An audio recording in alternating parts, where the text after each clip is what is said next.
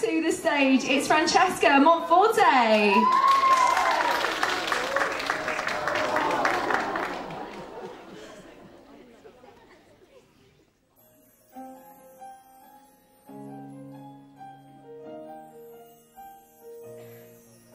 It's not enough.